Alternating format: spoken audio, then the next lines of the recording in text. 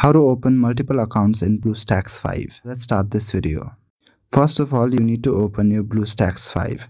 To do so, you need to go on the search bar at the taskbar and search for BlueStacks 5. After that, open your BlueStacks. After that, a multi-instance manager will be opened. Here you will see all of the accounts that you have opened.